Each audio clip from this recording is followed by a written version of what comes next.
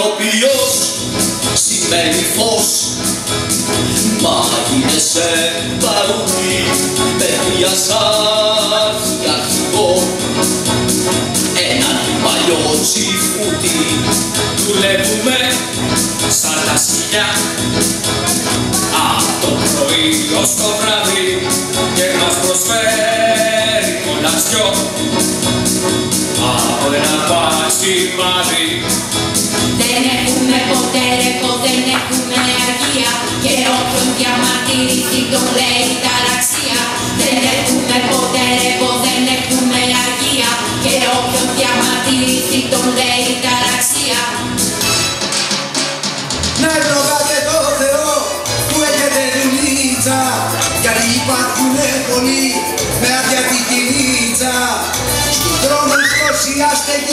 κάτω από τον ήλιο λιώνουν Και το χειμώνα το βαρύ. Οι δόλοι ξεπαγώνουν. Σαν τα προμάχος της ζωής τον τάβρο αποφεύγω από τις στόχιας τις τροπές Έμαθα να ξεφεύγω σαν τα προμάχος της ζωής τον τάβρο αποφεύγω από τις στόχιας τις τροπές Έμαθα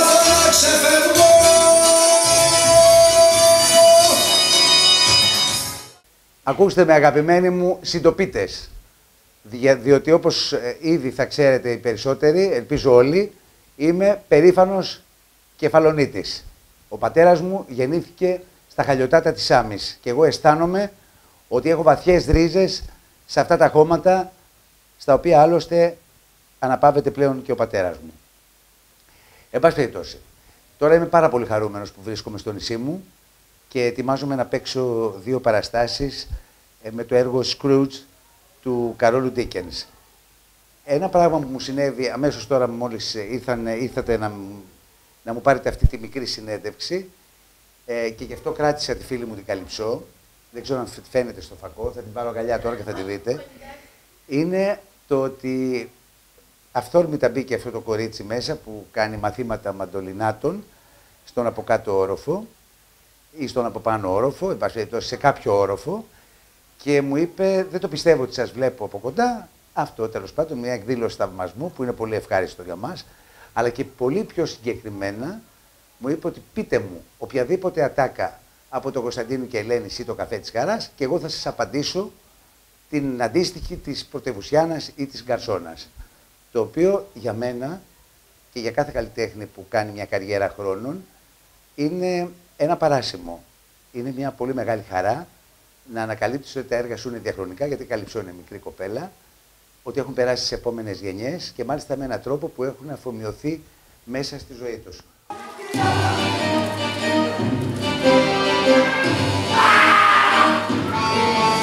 Πονάω, πονάω, πονάω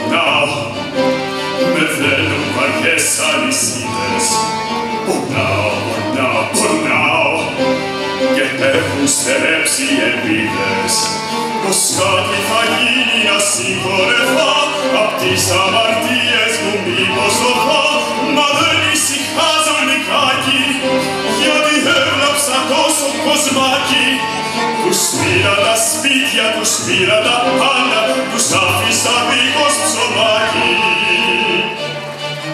Τι, τι με πλησιάζεις, τι με πλησιάζεις. Κάθε φορά που παίζω εδώ, συγκινούμε. Ακριβώς γιατί σκέφτομαι τον πατέρα μου. Ναι. Και, και επειδή το κοινό είναι πάρα πολύ θερμό. Ήταν τουλάχιστον τις προηγούμενες- τις προηγούμενες παραστάσεις που είχα κάνει. Ελπίζω να συμβεί πάλι αυτό. Θέλω να σας πω ότι ε, παίζω ένα ρόλο εμβληματικό του Ebenezer Scrooge σε ένα έργο του Καρόλου Ντίκενς που χαρακτηρίζεται, θα μπορούσε να χαρακτηριστεί παιδικό, παι- παιδικό θέατρο, αλλά δεν είναι μόνο παιδικό θέατρο, γιατί ο Κάρολος Ντίκενς, ο δεύτερος σπουδαιότερος Άγγλος συγγραφέας μετά τον William Shakespeare, είχε αυτό το περίεργο ιδίωμα τα βιβλία του να απευθύνονται σε νεαρούς αναγνώστες, αλλά ταυτόχρονα να διαβάζονται μετά μανίας από όλες τις ηλικίες και να διαμορφώνουν προσωπικότητες και συνειδήσεις. Γιατί έχουν πάρα πολύ δυνατά μηνύματα. Τώρα εγώ παίζω τον Scrooge, ένα ρόλο τον οποίο έπαιξαν πολύ μεγάλοι ηθοποιοί, όπως ο Άλμπερτ Φίνεϊ, ο George C. Scott και ο Μάικλ Κέιν. Και μάλιστα τον παίζω σε δύο επίπεδα. Δηλαδή, έτσι όπως έχω κάνει τη διασκευή, είναι έργο μέσα στο έργο. Υπάρχει ο σύγχρονος Σκρούτς, που είναι έτσι όπως με βλέπετε, και ο γέρος Σκρούτς του παραμυθιού, που είμαι μεταμορφωμένος και είμαι πάρα πολύ χαρούμενος γιατί φαίνεται πως έκανα μια σωστή επιλογή που αποφάσισα να κάνω την πρώτη μου εμφάνιση σε παιδική σκηνή. Ε, σημειωτέων ότι ασχολούμαι 10 χρόνια και με το παιδικό θέατρο. Έχω διασκευάσει και σκηνοθετήσει 10 παραστάσεις. Έχω γράψει δύο θεατρικά έργα που έχουν εκδοθεί σε βιβλία. Αλλά αυτή είναι η πρώτη μου, η παρθενική μου εμφάνιση σε, σε παιδικό θέατρο. Και φαίνεται πως ήταν η επιλογή του Σκρούτς πολύ κατάλληλη. Το κοινό μεταυτίζει, δεν ξέρω αν είναι κολακευτικό αυτό, φαίνεται ότι μεταυτίζει κάπως μέσω των ρόλων μου με αυτό το δίστροπο άνθρωπο και τσιγκούνι. Ξαναλέω, δεν νομίζω ότι είναι πολύ κολακευτικό αυτό, αλλά πάντως τους πείθει ότι, ε, ότι θα είμαι καλός πιθανώς σε αυτό το, στην απόδοση αυτού του ρόλου. Κάτι τους πείθει, κάτι τους, ε, τους έλκει προς αυτή την κατεύθυνση και γι' αυτό από την πρώτη παράσταση γνωρίσαμε πολύ πολύ μεγάλη επιτυχία. Στο Θίασο παίζουν μαζί μου ο Βαγγέλης Κουτσέλης, η Μαρία Κοκολάκη, δύο μαθητές μου από τη σχολή που δίδασκα, αριστούχοι και οι δύο, και αυτό με κάνει πολύ χαρούμενο και περήφανο που μπόρεσα να τους δώσω το βήμα να δείξουν το πολύ μεγάλο ταλέντο τους, γιατί πρέπει να δίνουμε το βήμα και στις επόμενες γενναίες που θα συνεχίσουν τη δουλειά που έχουμε κάνει εμείς ήδη. Η Κατερίνα Αναστασίου και ο Δημήτρης Κοράκης, δύο ηθοποιοί που επίσης περήφανα λέω παλαιότερα, πέρασαν από ακρόαση, από οντισιόν για να συμμετάσχουν σε δουλειές που είχα κάνει και δεν είναι ηθοποιοί του μέσου. Ούτε με ρουσφέτη ήρθαν, ήρθαν με το σπαθί τους, έκαναν, διαγωνίστηκαν κατά κάποιο τρόπο μεταξύ πολλών άλλων και με έπεισαν ότι είναι χρήσιμοι και πολύ καλοί ηθοποιοί που θα έχουν μέλλον και πορεία. Ακόμα να σας πω ότι οι μόνιμοι συνεργάτες μου, Γιάννης Ζουγανέλης, ο περίφημος Γιάννης Ζουγανέλης, έχει γράψει τη μουσική. Και μάλιστα εδώ άλλου τύπου κομμάτια, όχι εύπεπτα παιδικά, ε, κομμάτια που αποδίδουν ε, σοπράνο και βαρύτονη, αλλά και εγώ και οι υπόλοιποι ηθοποιοί.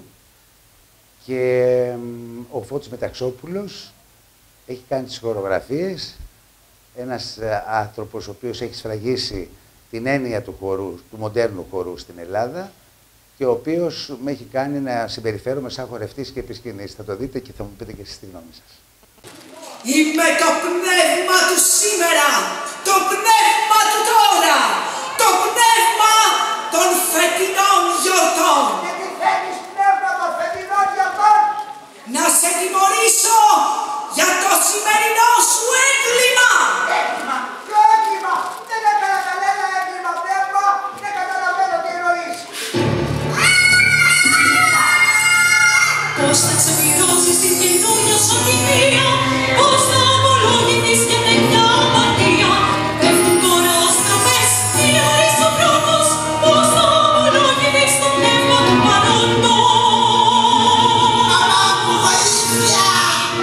Θέλω να σας πω ένα μήνυμα ειδικά για την κεφαλονιά. Δηλαδή, εγώ βεβαίως αισθάνομαι άνθρωπος της παγκοσμιότητας, ποτέ δεν έχω κρύψει ότι έζησα σε πολλά μέρη του πλανήτη. Από μικρός πήγαινα και ε, σε κολέγιο Summer School στο Λονδίνο και με ενδιαφέρει αυτό το, να, να, να είμαι άνθρωπος που ανήκει σε όλο τον πλανήτη και αγαπάει όλο τον πλανήτη και αισθάνεται συνάνθρωπος με όλους τους υπόλοιπους κατοίκους αυτού του πλανήτη. Αλλά βέβαια υπάρχει και το συναισθηματικό δέσιμο με κάποια ε, ιδιαίτερα μέρη. Το πιο μεγάλο συναισθηματικό δέσιμο που έχω στη δική μου ζωή είναι με αυτό το νησί. Είναι με την Κεφαλονία λόγω του πατερούλη μου και κάθε φορά που το λέω σε στεναχωριέμαι και σκηνούμε που δεν υπάρχει πια, ελπίζω κάπως να με βλέπει και να χαίρεται τώρα που είμαι εδώ. Και να σας πω ότι η Κεφαλονιά, ό,τι και να συμβεί, ό,τι, ό,τι σεισμός και να περάσει, ό,τι ε, οικονομική κρίση που μαστίζει όλη τη χώρα, ε, λειτουργήσει και αρνητικά και για αυτό το νησί, έχει ένα δυναμικό, μοναδικό στον πλανήτη, όπως προανέφερα, μιας και μιλάγαμε για τον πλανήτη πριν, μιας και τον ανέφερα δηλαδή, όπως το, μιας και τον προανέφερα, να σας πω ότι η κεφαλονιά, οι κεφαλονίτες έχουν ένα δυναμικό που είναι πολύ σπουδαίο. Είναι δημιουργική, οξυδερκής, αληθινή, ακόμη και αν αυτό καμιά φορά είναι και ενοχλητικό για τους άλλους. Όπως έλεγε και η Αίμνης στην Πουλιουκλάκη, θα πρέπει να είναι σύνθημα για αυτό το νησί, τράβα μπρος, τραβάνε μπροστά. Να είστε καλά.